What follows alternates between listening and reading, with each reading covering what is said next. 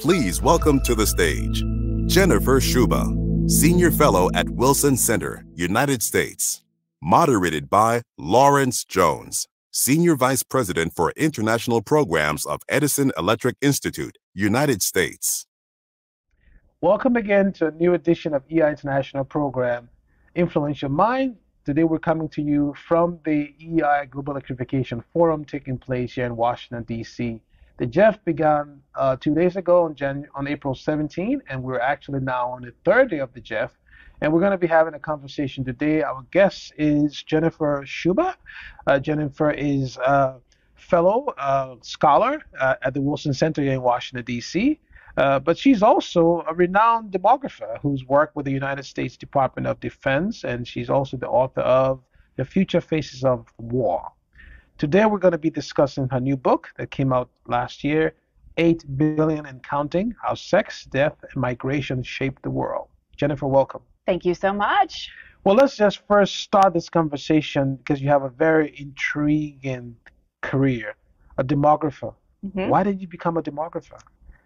So I think it started um, with an interest in population, even as probably a middle schooler who was focused on environment you know, this idea that we need to look out for the earth, that got that caught on for me very early. And population is a huge part of that, of course. And so when I was in college, um, I studied international relations because I was a Tom Clancy reader. And so I thought, you know, Cold War baby, and let me get into this. And kind of swimming in my mind was, is there something that causes war and peace and poverty and development that are really these underlying conditions not just the, the things we might read about in, in the textbook. And at that same time, um, on one particular day, my favorite professor came to class late and she paused in the doorway to the class, wanting us to look at her, which we did. And when she was there, she was wearing a black armband. And then she just started marching military style in front of our desks. And she said, Today, world population has hit 6 billion people. Mm. And this is just an absolute travesty for our world. I never had children. There's too many people, and you shouldn't either. Which is, you know, not something you could say these days as a college professor. And I was really intrigued by that and skeptical also. Mm-hmm. And so as I went to graduate school as a political scientist, and so my PhD is in political science, I remained really interested in population as the foundation of our world. I mean, people are there are our workers, they are our soldiers, they're our consumers. Mm-hmm. And so I have tried in my career to take my formal training in political science, but add in a deeper understanding of population. And so mm-hmm. as I was working on my dissertation, I went to the Max Planck Institute for Demographic Research in Germany mm-hmm. and really just tried to learn about that and follow that and bring those together in an interdisciplinary study of mm-hmm. how population makes the world tick. Mm-hmm. What is so interesting in the book? You you you actually talk about three things. You talk about the issue around fertility, you talk about the issue around mortality, and then you also then get into this whole issue of migration, mm-hmm. right? And you know the theme of the GEF this year is literally power climate action energizing 8 billion lives. Yeah. Now, as I was reading the book, I kept thinking to myself, well, do we understand the 8 billion lives we would like to energize? So let's start from the beginning of the book. Give us the context of how fertility mm-hmm. links to population. Sure. So, you know, any population change is driven by those three building blocks. And I think what's nice about that is it can help us simplify how we understand things when I picture fertility, mortality, migration, I see them as these dials that are just turned up or down to produce different outcomes. So if we're on this fertility dial for a little while, it, it's a powerful one. And I think these days it's probably the most powerful one. I, I would argue that. And um, the number we, we might want to keep in mind is two.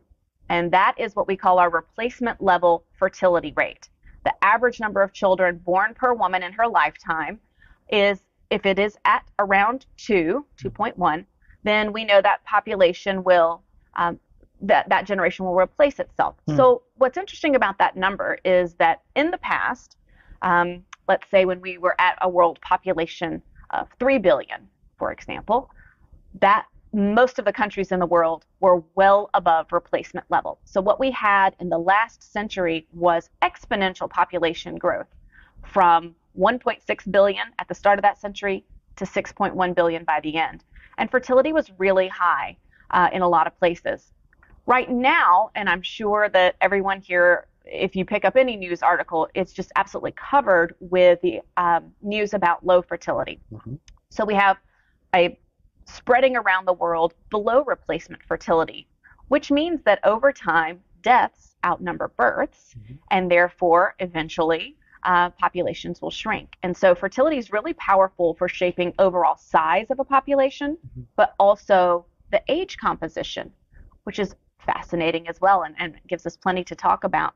So, uh, those populations that have low fertility over time, they grow older and older on average. Mm-hmm. So, so that's the fertility aspect of it. So let's get into the mortality rate because there seems to be something we can come back to talk about the divide between the you know different parts of the world. Which is I was reading the thing about you know the energy divide is almost parallel with the population divide where energy access is less. You have greater population where energy access is greater. You have a shrinking of population. But let's talk first about mortality mm-hmm. because there seems to be this not necessarily correlation between more people being born, few people dying, vice versa. Right. Talk about mortality. So if we're on that second dial, it's also been incredibly important. Um, but I think we're I'm going to argue here in a second that it's maybe less important these days in shaping things than than fertility is. But population change follows this general pattern where uh, before a society has high levels of development, fertility and mortality are both pretty high. Mm-hmm. And what we see is that at the start of something called the demographic transition, mm-hmm. mortality starts to fall first. You mm-hmm. just do a better job of getting people to live, particularly out of childhood. Mm-hmm. You know, get, when those babies are born, they will start to live into adulthood. So mortality starts to fall first in that first stage of the demographic transition, mm. and then fertility follows that. So when we think about that huge population explosion from last century, that in large part was due to a change in mortality and how much we really came to understand and get power mm-hmm. over disease and death um, that allowed so many more people who were born to actually live into adulthood. Now, I think today, uh, you know, this is debatable, but I think today mortality we have a pretty good understanding of how to get people who are born to live into adulthood.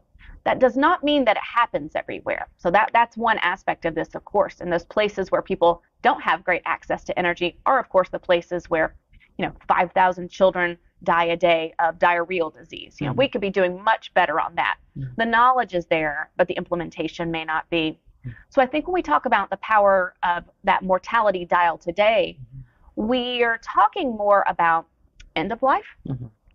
and how to uh, you know, get people not to die prematurely of non-communicable diseases. So for the first time ever, it's non-communicable diseases like heart disease and cancer that are the major killers worldwide, mm-hmm. not communicable diseases, even with COVID. And I think that's that's interesting and and it really means that we're just living longer. Yeah.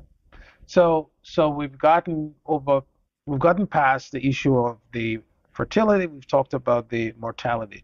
Now, before we get to migration, which is a big mm-hmm. part of the book, uh, I want to come back and just look at some countries, right? Let's just talk about that. So today, the hot topic is Japan, yeah. right? Uh, and we've seen the sort of the shrinking of the Japanese population.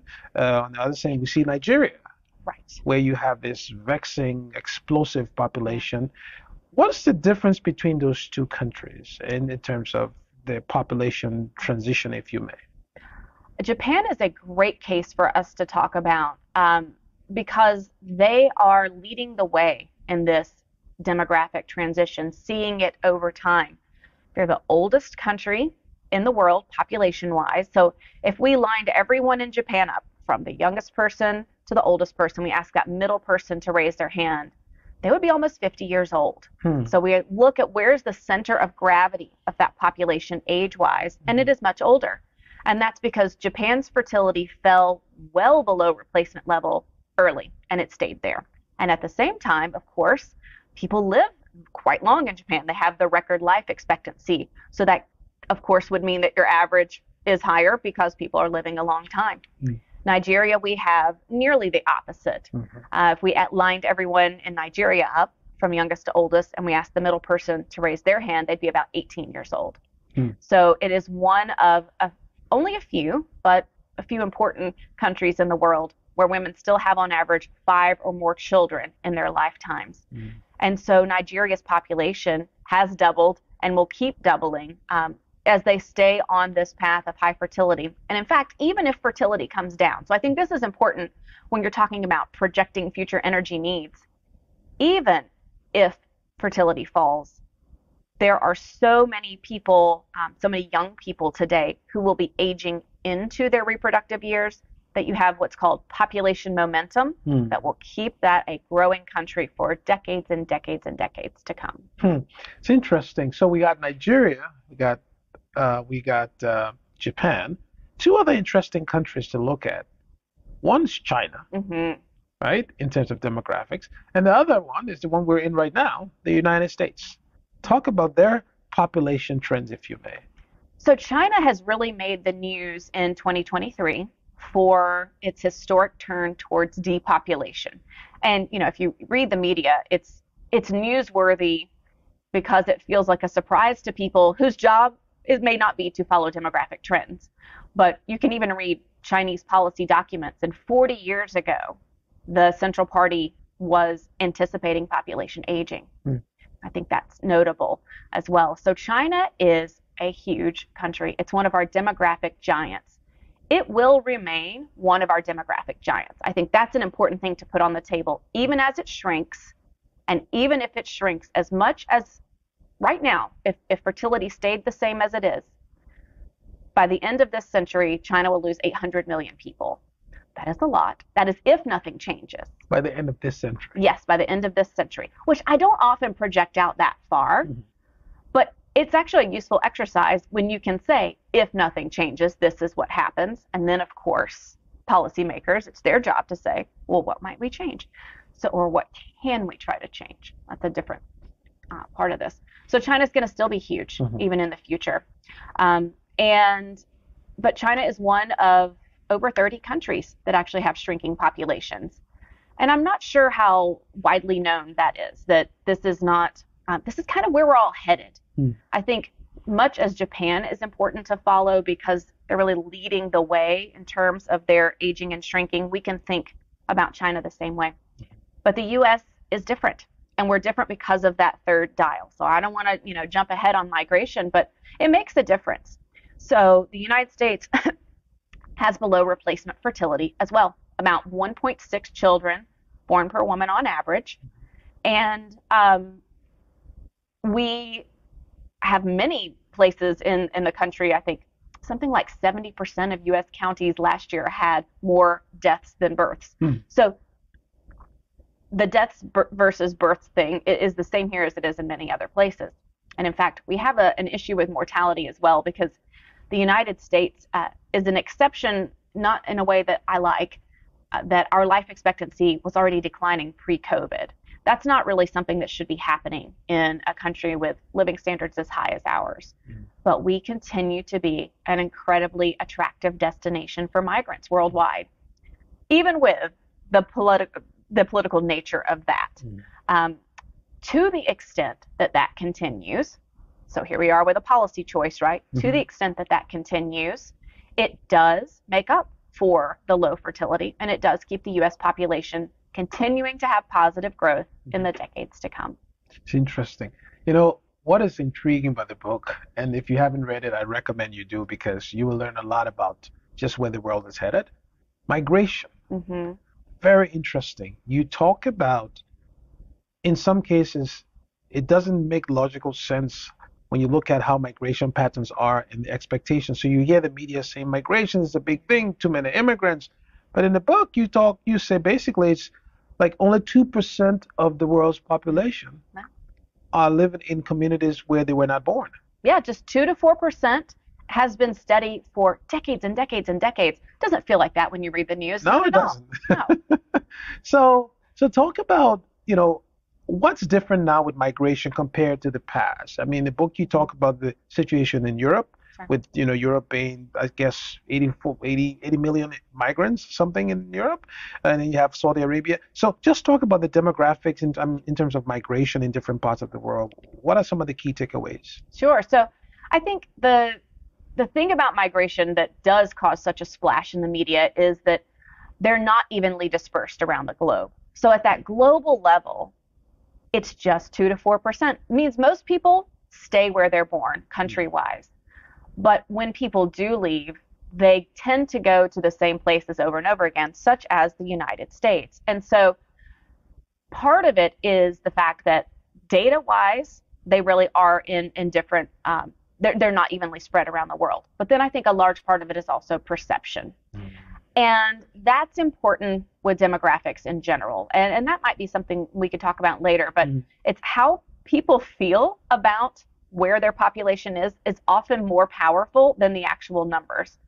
Once population numbers get taken into the political arena, they tend to get used by all the different sides for their own political gain. Um, I'm actually working on a book about that about the politics of demographic distortion with a couple of co-authors um, that should come out in couple of years. Uh, oh, you said powerful. you said a couple of years. I was going to say, I'm can sorry. you can you promise to come here first and I'll talk about here. it? Yeah, if we're if we're all still here, God willing, I'll be back to talk about that. Okay.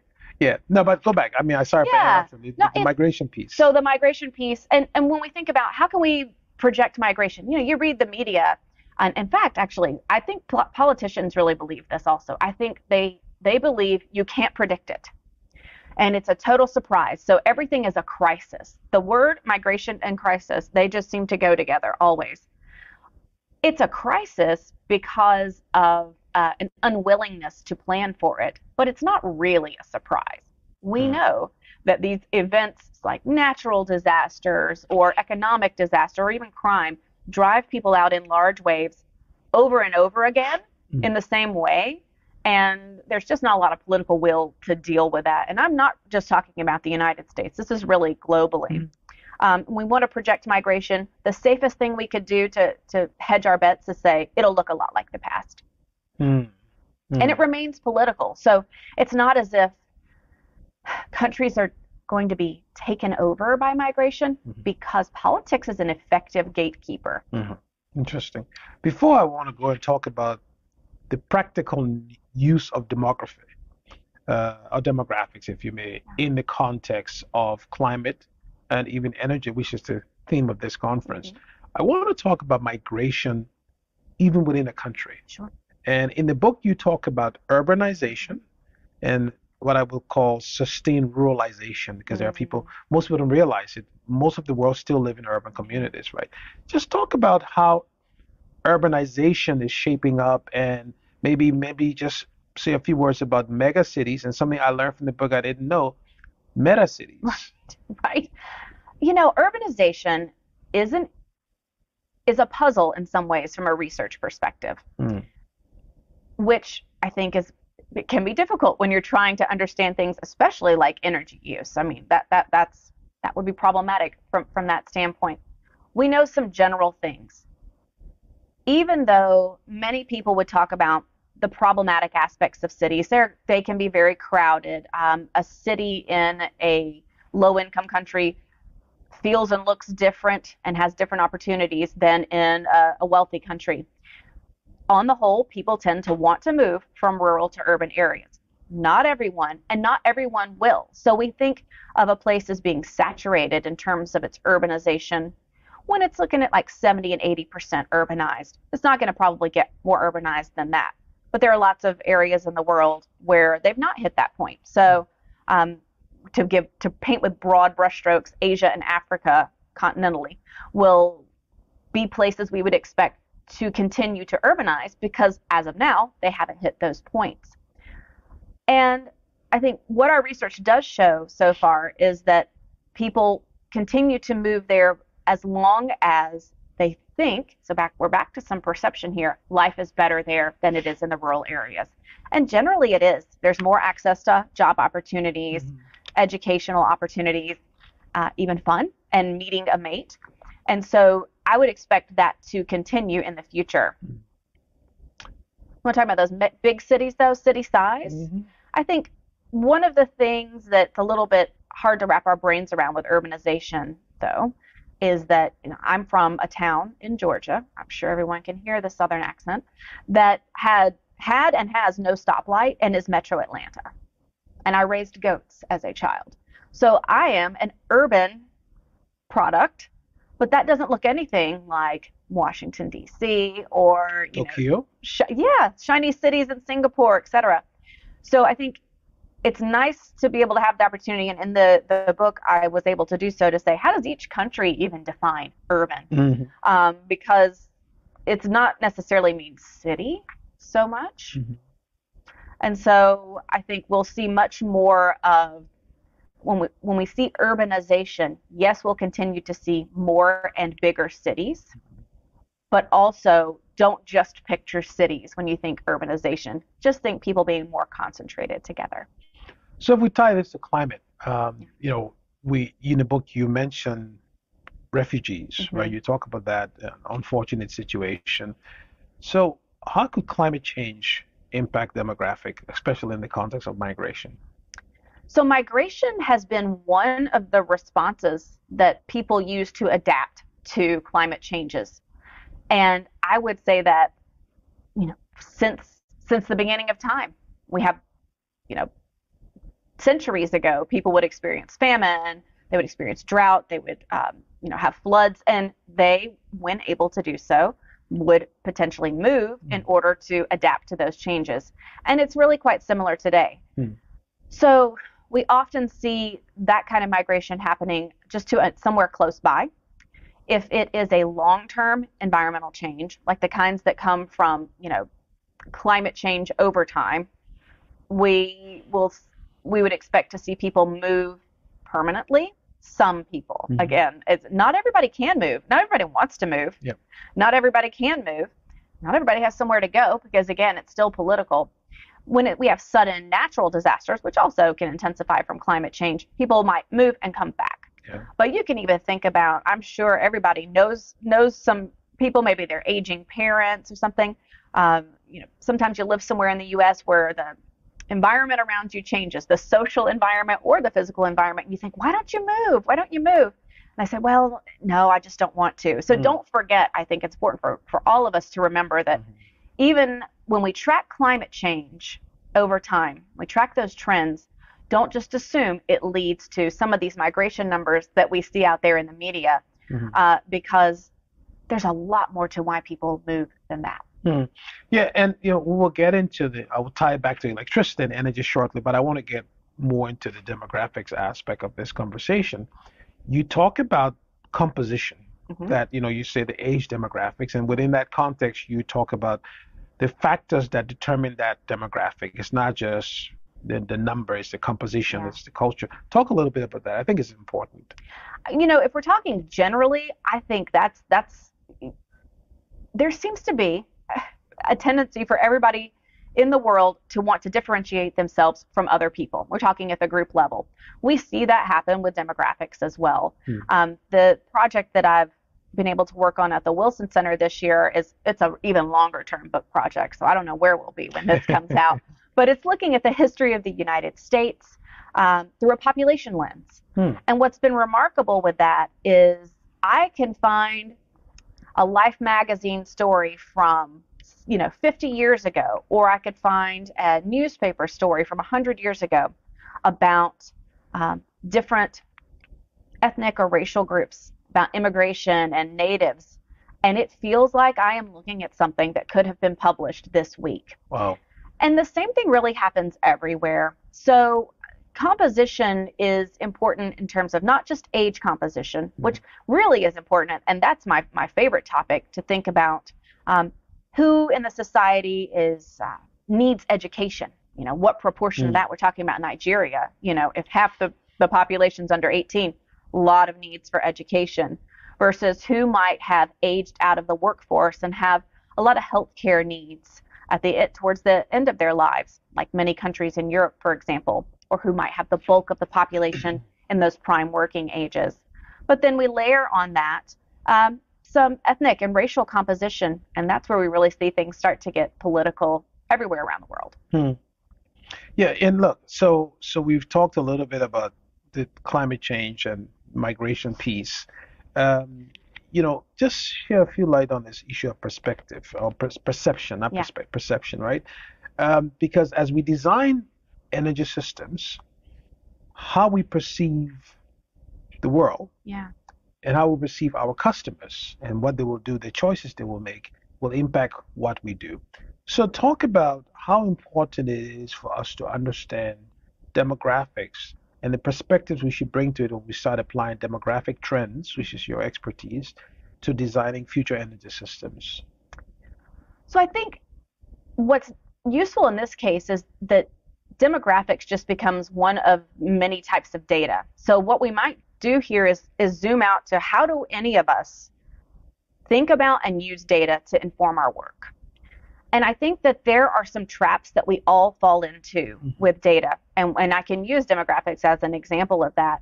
So, one of the traps that we fall into is a tendency to assume that whatever the trend is, that it continues. And, and here's an example of that. So, you think back to the story I told about the six billion, with the day I learned of this. This would be 1999. I was a fresh undergraduate.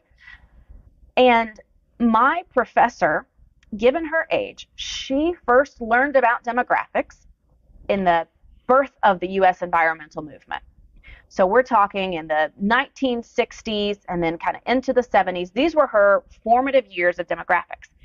And people might think to themselves right now, take a pause and say, you know, how old was I? What year would it have been when I first thought maybe this is important? And it, maybe it's right now. And I talk to a lot of audiences who want to really um, talk about population growth. And this sounds bad, but I can kind of look and think, how old is this person, and when did they first form their their opinions? Because at the time Paul Ehrlich wrote *The Population Bomb*, 1968, Hmm. huge splash. There uh, were 125 countries out of our 200 and some plus where women had five or more children on average. When I learned about uh, the six billion, and, and it really started to come to me, there were about 38 countries, and now there are eight. So th- with data and perception, we have to constantly update ourselves on the trends. Mhm. Uh, people don't necessarily have the time to do that. That's why people like me write these books. So you can just read the book and you're good on your demographic data, but make sure we put out another edition in a few years because things change. So update and understand that things change. Um, I think there's also, we need to understand that trends work in tandem and they work in context. Okay. So you can't just say, ah, demography is destiny. I mean, that's why I love being a political scientist who uses demographics Mhm. because I know that politics matters. Mhm. So that same trend in two different places could have two different outcomes. And that's because all kinds of factors matter. I, I, political institutions like democracy or non democracy, that matters. Uh, Japan's aging and China's aging Mhm. are going to look different because they have very different political systems. Mhm. And then, third, I think we want to think about our biases that we Mhm. bring to the data. So, I see this a lot um, in the national security sphere where I've, I've worked. Uh, as the United States wants to see itself as the most powerful country in the world. I think many of our peers want to see themselves as the most powerful country in the world. So there's a tendency to look through that lens Mhm. at the data. I think that really has happened with China and Russia. As U.S. looks at those countries, I know that at the time that I was at the Department of Defense uh, in the mid aughts, Russia was going through its some tremendous depopulation, like losing up to 600,000 people a year, and there were all these headlines about their uh, alcoholism and high mortality and, and low fertility. And there were articles by high ranking military people and influential minds who said, we don't need to worry about Russia from a military standpoint because their demography is their destiny. And then people like me, and there were very few of us, to say, that's not how it works.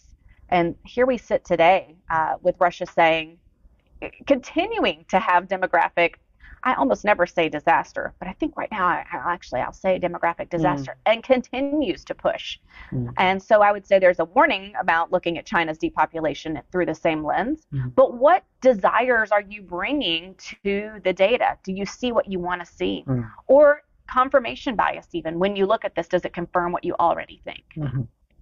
So, you know, I want to just practically, this is an audience watching this around the world uh, leaders from the energy sector, the electricity industry, but other industries, right? So why should we care? Why should our industry care about demographics as we look to energize 8 billion people and counting? And counting. Why should we care about demographics? So you can kind of tell me this. I'm guessing you want to anticipate where the greatest needs will be and mm-hmm. what they'll be like, right? I think demographics is if you are ignoring demographics, you will never have a complete picture of the future. Mm. You absolutely have to include it. Then, of course, the political scientist in me says that better not be the only thing that you're looking at, mm. of course. So, when we are looking at the world today, we've really never been more divided demographically. This is kind of what we were starting to talk about at the beginning. Mm-hmm. I mean, when you look at the 8 billion of us, there are the oldest societies on the planet that we've ever had, thinking about Japan, but not just Japan. I mean, we're moving towards this in much many other parts of Asia, in Europe, et cetera, and then continuing uh, young and growing populations in other areas. And so we need to understand that the needs of those populations are really different. And they're out of our 8 billion, 6 billion are in low and middle income countries. And I think that's probably the of the most use as you think through this. And what's interesting about that 6 billion, it's like we keep peeling back layers of the onion here. They have really varied demographic trends as well.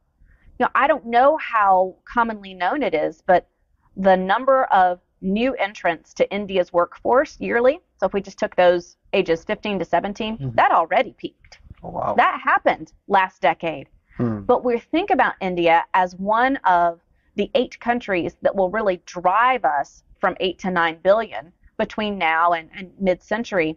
And that is because of kind of, as I mentioned with Nigeria hmm. earlier, the population momentum. It's baked in from the past. But India actually has below replacement fertility. So I think as you anticipate energy needs, part of it is counting people, of course. Now, how, how many people will there be? but then where will they be? Mm. So we do know that the number of shrinking countries it's it's growing. Uh, two out of every three people of our eight billion live somewhere with below replacement fertility. Mm. That is a sea change in global population trends. So what we look like globally at eight is not what we will look like at nine or ten. But our, the question that that the energy industry has is the same as many other industries have, which is how much will standards of living rise among that 6 billion in low and middle income countries? Mm. Demographics is part of this because it's actually good news economically when we see fertility falling. We know from the past that when fertility falls, we've generally seen better educated populations mm-hmm. and an opportunity, not a guarantee, but an opportunity for those populations, for those countries to really grow the economy, something called the demographic dividend that mm-hmm. we've seen worldwide. So, of that 6 billion, you know, there are some countries within that that if they play their cards right, they'll mm. see that big economic growth. For they should have a lot more energy needs and a lot more consumption. So, so more or less, then it's seeing demographics as a almost like a resource Mm-hmm. And because you talk in the book about, you know, you know, how do you harness the information you've gathered? So from a public policy standpoint, a lot of the listeners here, energy leaders and others, you know, take their clues from the policymakers, right? So let's talk from a public policy perspective. You're a political science expert. Um, what should energy leaders around the world, meaning not the ones who are running the businesses, but more the policymakers, mm-hmm. right? How should they what should they glean out of this conversation in terms of we want to energize the world, get to 8 billion people? The first conversation at this, GEF, with another influential mind was on the theme of the asymmetry, the asymmetry around uh, universal access. Oh yeah. Right.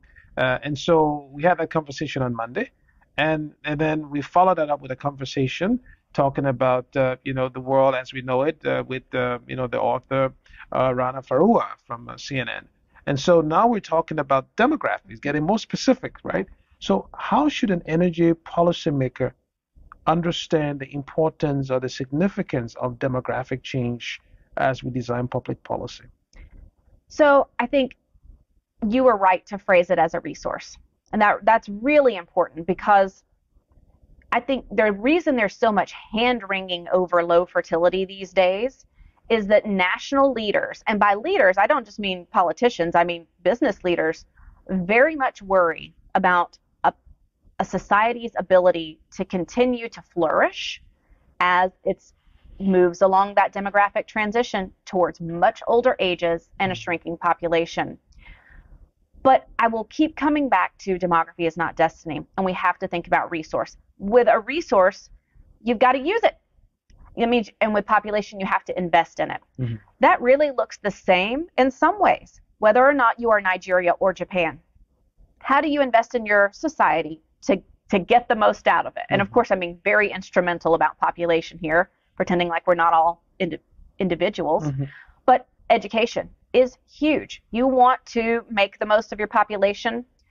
Nigeria has to invest in education, but then so does Japan. That can look a little different. Mm-hmm if we are uh, thinking about retirement ages, we have, in fact, by the end of this century, worldwide, just the, just from age 65 to 75, there'll be 800 million 65 to 75 year olds. Are they going to be in the workforce or not? Mm. That's partly a political question, partly a cultural question, but then have they had opportunities for continued education and retraining mm. or not? I mean, there's a huge resource. I think those companies and those countries that invest in older workers and find more flexible ways to bring them into the workforce after traditional retirement ages, they will succeed. Mm. And, and, other countries and companies that do not do so are squandering the resource. Mm. And health is the other. Mm. You're only as, as good as has, how healthy your population is. Hmm. So I think about those 75 or 65 to 75 year olds the 800 million of them at the end of this century, are they healthy enough to work? And in many cases right now, if things continue as they are, they would not be. And that even includes in the United States, hmm. where we are not doing a great job of making sure that people have what's called a long, healthy life expectancy. Hmm. Uh, France, Greece, Spain, those folks, they tend to live up to decades uh, in good health after retirement. The countries in our peer group in the U.S., um, as far as healthy life expectancy and how healthy do people, how many years of good health do people have after retirement? Mm-hmm. We can put together Russia, China, Romania, Mexico, and the U.S. are in a group together where it's only 10 to 11 years. Hmm. So that really squanders the ability of your population to be a resource for you. So hmm. education and health are two of the important investments that every country needs. You know, you know, two other topics being discussed this week at the GEF. One has to do with workforce, mm. uh, and and the other one has to do with critical minerals. Okay. Right. Both things sort of relate to resource consumption or the need for resource, right? So talk a little bit about you know, in terms of it, because in the book, you know, in the chapter where you talk about the future of global population, you talk about how, you know, you say people either look at a problem inside out or outside in, and and so from a decision making perspective, can you describe different approaches to the problem solving around demographic, inside out, outside in? How can we take that into consideration as we design the future workforce? for the energy industry? That's a great question. I, I love this inside out, outside in part of this because, you know, I originally started my working career around demographics thinking about forecasting. Mm. And so the inside out, outside in, I take straight from Philip Tetlock as we think about pre- predicting the future. And so he gives this great example, um, and then I'll give you a population example of being at a wedding. Let's say you and I were at a friend's wedding and we're watching them have their first dance, and and maybe I turn to you and I say, "What do you think the chances are that they get divorced?" Well, if we're looking at them, they look so in love on that dance floor. we would just say, well, very low. And that it would actually be rude if you said that you thought they were going to get divorced. But if we have this kind of outside in perspective, we might we look at baseline rates for divorce for their group. And then we would add to that though what do we know about them? Do we know like do they fight all the time and they barely made it to the altar? So we want to marry both the inside out and outside in uh, perspectives with this and we want to keep updating. And i think that gets to, to something i mentioned earlier with my professor and then me and i and i'm constantly surprised by new data. Keep trying to learn about this uh, and here's a population example as you plan for the future. Let's go back to Nigeria. Mm-hmm. I was pulling some numbers recently about where will Nigeria's population be number wise just in 2040. That's really not that far in the future when you consider that a lot of the mothers are already born. Okay, so this is the nice thing about demographics. We follow fairly predictable patterns, and a lot of the people of the future are already born. So you want to understand about the workforce you can kind of go ahead and get some numbers because go to go to the kindergarten classes like that's your future workforce mm. okay mm. and then some so i was looking at how different the projections were for nigeria's total population in 2040 and i took two projections one is the un's medium variant that's the one you read any news article they're using that one and basically the un just says here's the universe of projections and we've just here's the one in the middle. And then I said, what if nothing changes? And I pulled what they call their constant fertility variant. Mm-hmm. The difference was, you know, tens of millions of people based on whether or not fertility falls by a child and a half. Hmm. So if you are looking at that medium variant for the United Nations and you're looking at Nigeria's population less than two decades in the future, that medium variant assumes fertility there will fall by a child and a half per woman on average. Now, we want to understand this. We need to say, what has happened historically with other countries? Does it tend to fall at that rate? Botswana, it fell faster than that. Some places it hasn't fallen nearly as fast as they thought it would. Mm. And then you need to ask some questions about Nigeria itself. Do you think that the leadership take seriously the need for education and rights-based family planning and you know ending child marriage mm-hmm. so that it would lead to a situation where fertility falls that fast or not mm. and so when you think about the future workforce think about the kinds of investments being made today to understand the characteristics of that workforce in the future hmm. look so uh, we, we, I think we have, uh, I guess, 10, 15 more minutes, but I just want to get into one very important thing so climate power action is or are the three words that sort of uh, surmise this this this conference this week. And one of the things that's common with them is making predictions mm-hmm. and projecting into the future. So the energy industry, climate advocates, governments all make projections about what we should do or we shouldn't do regarding climate, the actions. And in the book, you talk about desirability bias. Yeah. So we have a lot of goals that have been set for the world in terms of climate. We have a lot of goals being set by business leaders watching this uh, this this uh, this conversation, um, and we have a lot of goals set as individuals. Mm-hmm. So, talk about desirability bias and how might that affect how we energize the world. Oh, now we're getting into the the juicier part of this, I think. So, so I'm going to ask you a little bit about this. What do you think that most of your leaders would desire to see the most? Maybe trends in s- sustainability of resource use, for example, or uh, you know total re- uh, energy use.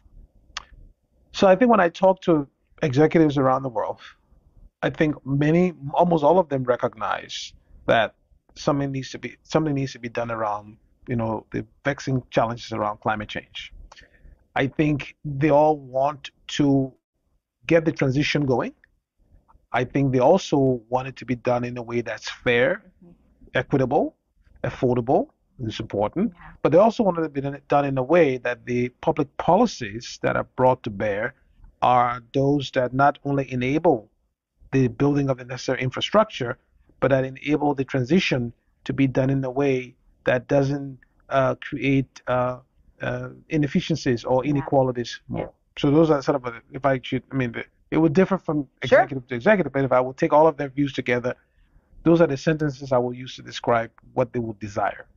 So I think as we start to interrogate that, then what we might want to do is say, how much on the path are we for that?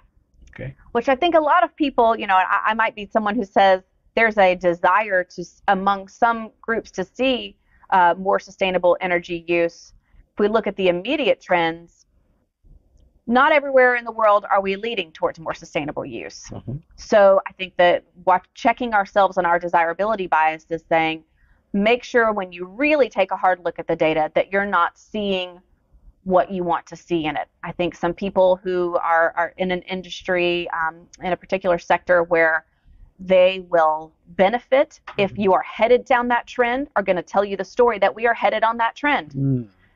and that may not actually be true. Mm. But then I think we could also um, sometimes our desires do come true. I think there's a lot of opportunity to, you know, I think about India, for example, and uh, commercial electric vehicle usage, for example, uh, technology. I mean, this is we haven't mentioned technology yet, but but this is something. gonna get to okay, technology. we got to bring technology into this. So you know, sometimes our desires, uh, as long as you're aware of what they are, the first step is always make sure you name them before you go into the data, and then use that to to give a really critical look to say, are you actually headed down that path or not? So basically, let our desire be brought to bear, Yes.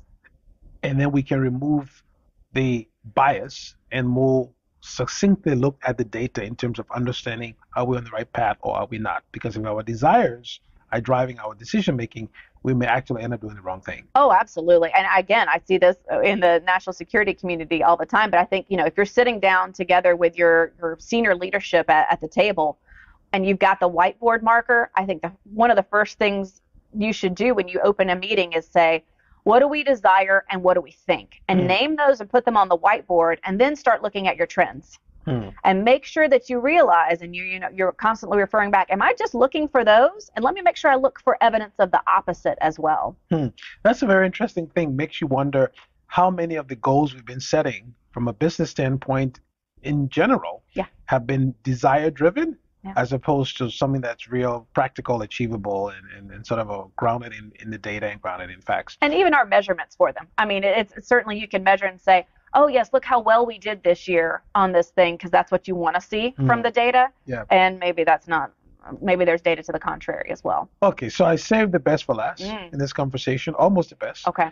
Technology. Yes. Let's talk about how technology can basically, because you said fertility, mortality, and migration. I would add the fourth one, Yeah. which should be technology, since you didn't cover that in the book. Yeah.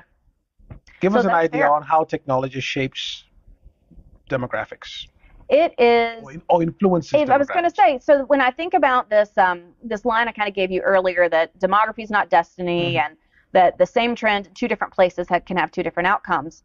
There are forces in societies I mentioned, like whether a country is a democracy or not a democracy, that can amplify demographic trends or dilute them. Another one of those forces is technology. Mm. And so, as I think a lot about the number of countries, again, the majority of people in the world living somewhere with below replacement fertility, of course, one of the worries that business leaders have in particular is will they have enough workers?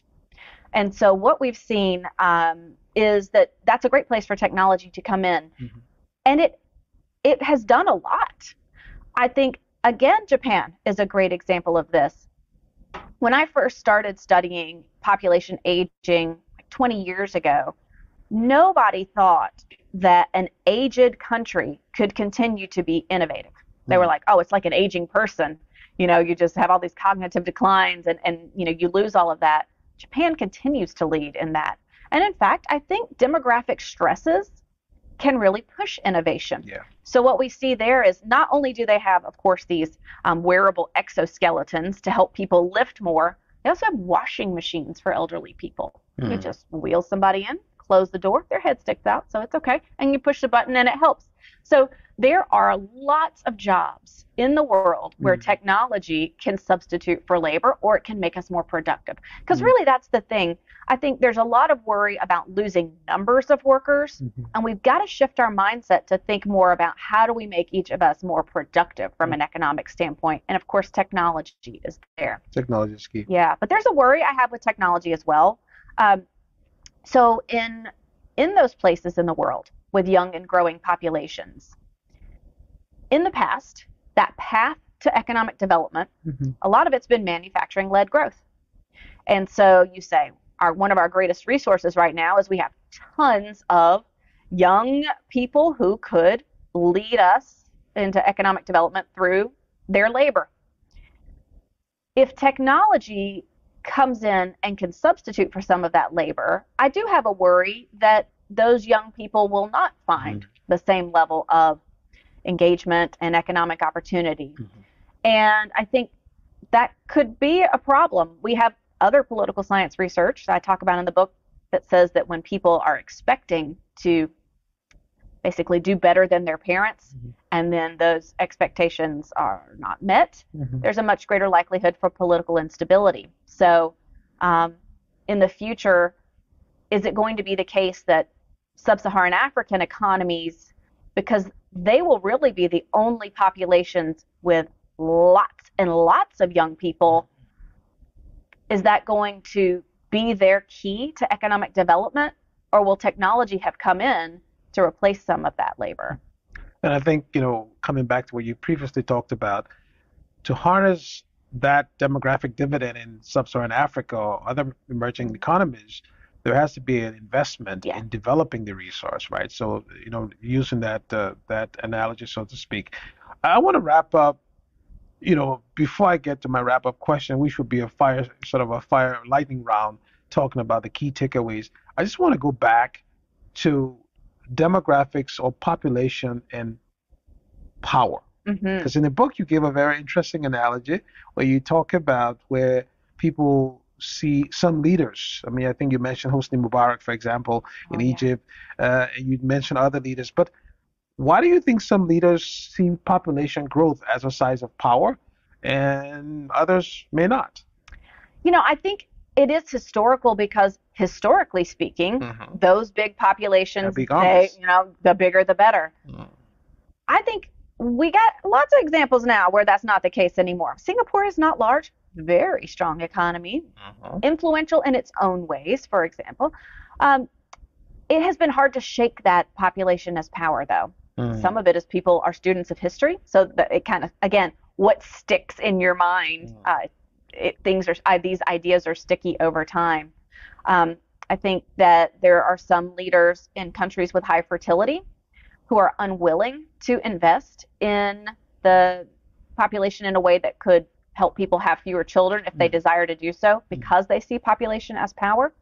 And in fact, I worry that all of the media coverage about China's aging and shrinking population, and we're going to just keep seeing more and more of that. South Korea, record low fertility. I really worry that those leaders in countries that have high fertility will be unwilling to invest in ending child marriage, you know, uh, spreading education, rights-based family planning, healthcare, whatever the, the case may be, because they don't want to go down that path. Mm. And they say, well, at least we'll still be young and growing. Mhm. Uh, I think that we need to be attuned to that as a possibility. So, so you know, this is midway into the GEF uh, Wednesday, uh, and we have uh, two more days to go. Um, just help the energy leaders listening to this to understand why each of them should hire a demographer. Why do we need more demographers in terms of designing not just energy systems but future systems of the world? Why is your profession so important? Because the more I read the book, the more I realized, gee, I should have bought this book two decades ago because it would have helped me in some of my own decision making from a you know, business standpoint. Why why is that so important? So ha- I'm happy to come in and do some consulting anytime. but I think you have to understand that people are the foundation of Mhm. everything. Mhm. We are all your workers. We are all your decision makers. We're your voters, consumers, etc. So at a very basic level, if you are not including demographics in your analysis of what is now and is to come, mm-hmm. you'll never have a full picture of things. Um, but I think it can also enhance your understanding, especially when, you know, as, as we think about future needs, if that's a year from now, three years, or decades from now, there's always a range of possibilities. Mm-hmm. And so understanding that that population can help you learn about ranges of possibilities. I mean, we started by talking about those dials. They mm-hmm. turn up and they turn down. Some of it is, uh, you know, demographic trends themselves are influenced by external factors. Yeah. You know, how many children I might end up having may be in part driven by how the economy is doing. Mm-hmm. So I think to get our, uh, as an exercise in understanding the range, mm-hmm this is a great uh, learning opportunity for us mm-hmm. to, to, look at how demographic trends have changed over time, what's likely to change them over time, and then that way you're really having a, a comprehensive uh, understanding of technology, of population, of energy, uh, economic drivers, environmental drivers all put together to give you a clearer picture of the future. Mm-hmm. And really understanding that demographic composition, which yeah. is something you also talk about. All right, Jennifer, let's wrap this conversation up by just quickly going through your key takeaways okay. towards the end of the book and just, you know, just give us your thoughts on these six little okay. thoughts here. First one, size matters. Why? Size matters really because of perception. So whether or not, you know, it actually matters in the same way that it would have 200 years ago. How many soldiers do you have to field an army, for example? there is still a sticky perception among leaders that the bigger the better. So it matters because of that perception aspect of that. That means that as we look to the future, those countries like uh, China and India and the United States, as the three biggest countries, continuing now and in the next few decades, they will still wield lots of regional influence and in some cases global influence. Okay. People move in somewhat predictable patterns. Why? So the places in the world where people might need to move the most, or they maybe can't afford to do so. So we know that people tend to move. Um, we can actually draw some some lines in, in the sand there to say that when a country hits certain levels of income, people are actually more likely to move. Mm. And that, that kind of makes sense. Like, did you save up enough to go? It's expensive to move, and you need the know how to do it. So we know that there are certain patterns. If you want to project out looking at the world you know, are the people of Niger likely to be some of the world's, uh, you know, biggest immigrants in the next few decades? No, they're not. They are not likely to be. But mm. as Nigeria's median uh, median income rises, perhaps Nigerians would be. Mm. So this is an interesting one. So as we're talking about energizing the world of 8 billion people and counting, yeah. uh, we design energy systems. We have assumptions about where people will live. Yeah. This one, the world is urban yes, it is safe for us to say it is a general trend towards urbanization. Now, as we tried to nail it down to more specifics, that's a little harder. But when you're designing systems, places that are not saturated in terms of urbanization, they'll continue to urbanize. And so you are going to have to account for those energy needs and plan for those. Okay. Uh, the other one, no surprise, an aging world is coming. Yeah, and it's really here. I think uh, when we are looking at the world of 9 billion, that is a much older world um, for much of it. Uh, you know, it's really that we're back to this divide here, but with China and India both at below replacement fertility, mm. these are two huge countries and they are both aging as well. India is going to keep growing, but their median age is going to be increasing as well. Okay, two more. The one, the next, this next one is very important for this industry policies can shape the future we want. Yes. Demography is not destiny. It is incredibly important, and you can't get a, a sense of the present or future without it. But harnessing the power of your population, that comes from investing in things like education, healthcare, um, and that's throughout people's life courses from young to very old. Mm. So we, we, we, we've come to the last one. Before I ask you the last one, I would just put one little punctuation mark on something we didn't talk about. And that is the notion of long term thinking versus short term thinking. Uh, earlier this month, we had a conversation with a, uh, neurosurgeon who talked about the importance of understanding brain circuitry, how the brain works. And uh, you begin the book when you talk about the uh, you talk about the the growth and you talk about the differential growth. Yeah. And you describe what we're seeing not so much of a population exponentially growing, but more of a differential growth. Yeah. So, given our mindset, given the fact that we need to think long term, mm-hmm. the last one says the demographic design or divide. The demographic divide divide will shape the fortunes of countries. Yeah, and it, it it's that one is is an important one to end on. So I'm glad we are.